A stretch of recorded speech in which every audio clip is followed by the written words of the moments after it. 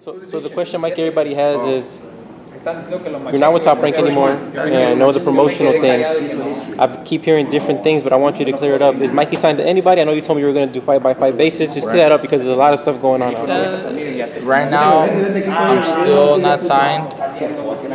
This is just a one fight uh, deal right now at the moment. We might be able to work um, a little, a little more fights, a couple more fights, but right now this is just one fight. I think, I think uh, after this fight, I'll be able to maybe partner up, join with somebody else, or, or work have a relationship with somebody. Subió de continue light to work. flyweight a super flyweight. How, how fast did you come to make this fight here? The Ahorita está peleando super. co-headlining at uh, Barclays and, and, It wasn't, it wasn't fast. It, it took, it took uh, a lot. Light flyweight.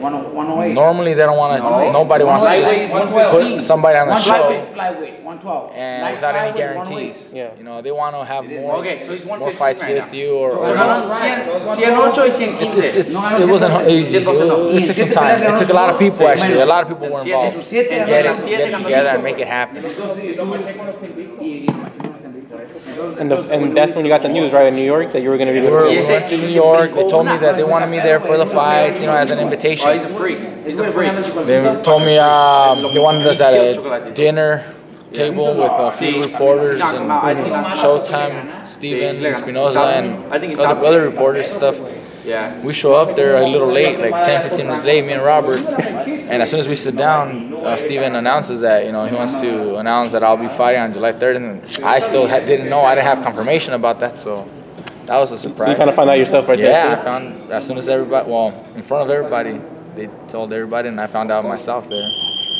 So, but it, it's it's good. I mean, I'm back. We'll be um, fighting on the 30th, so I think the better fights are are soon and right after that. I mean, I'm uh, I'm gonna have to push hard, you know, push hard. Are you New York? I know a lot of people want to see you out here. They want to see your debut out here, Mikey. Is, is New York still a big stage for you, though? You know, especially with the fight we just saw uh, last week. New York always shows uh, a lot of support, a lot of love. It was, it was nice. We showed up there to the Barclays Center, and fans started crowding us and that. taking photos with Robert, myself, and I mean that's it's real nice. I mean, New York has a lot of uh, like real boxing fans that really follow the sport, follow up the up and coming fighters. They don't just go to the fight for the main event. They're there early. They they're there to support the entire show because they love the sport. And some of the fights out here, like in Vegas, it's more of an event that people go watch the main event, just because it's the thing to do for the night. But the rest of the undercard, or, or, or a lot of the fans don't even know who the other fighters are. They don't know the main guy, you know. And New York isn't like that. They're like real, real fans, which is real nice.